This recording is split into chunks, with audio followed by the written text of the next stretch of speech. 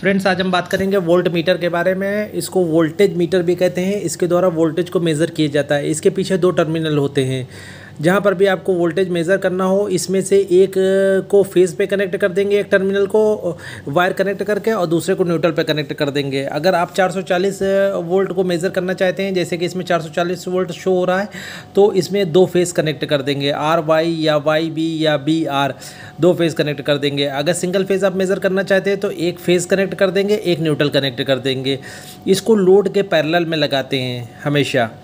इसकी buying link मैंने video को डिस्क्रिप्शन में दे दी है। अगर आपको, अगर ज़रूरत हो, आप बाई करना चाहते हैं तो इसको बाई कर सकते हैं। काफ़ी अच्छा वोल्टेज मीटर है वोल्ट मीटर है। फ्रेंड जैसा कि आप देख सकते हैं, ये डबल फेस में लगा हुआ है। यहाँ पर 440 वोल्ट बता रहा है। तो 440 वोल्ट शो हो रहा है। इसमें पीछे दो फेस कनेक्ट किए गए हैं। तो वो उन्हीं के बीच में वोल्टेज डिफरेंस बता रहा है कितना है। 440 वोल्ट